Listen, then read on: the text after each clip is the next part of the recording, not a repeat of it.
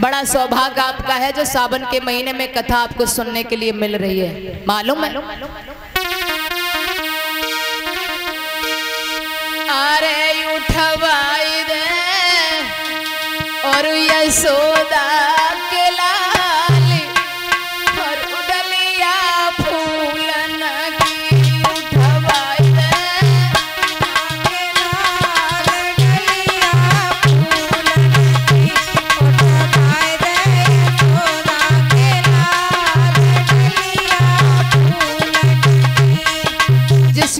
अपने जीवन रूपी डलिया उठवानी है तो ऐसे ना उठेगी, ताली बजाए के बोलो।